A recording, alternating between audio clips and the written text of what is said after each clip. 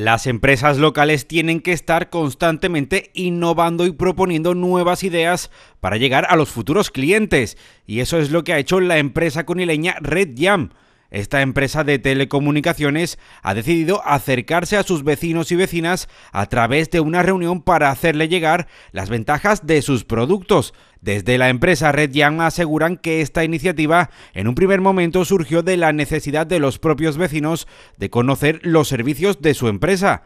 Pedro Bermúdez, técnico de Red Young, afirma que tras ver el éxito de estas reuniones decidieron continuar con esta iniciativa por diferentes lugares. En principio surgió de, improviso, fueron los propios vecinos de dos asociaciones cercanas de, Conil las que se vinieron hacia nosotros para que mostráramos el producto a, sus vecinos eh, y así hicimos.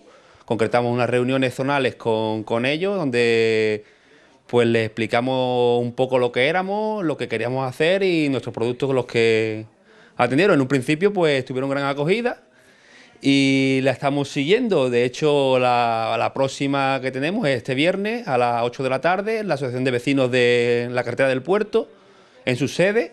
Y allí explicaremos un poco lo que vamos a desarrollar en, esa zona. Con esta estrategia comercial, Redian asegura que el principal objetivo de las reuniones es que la gente les conozca, que sepan quién son y que es una empresa muy cercana.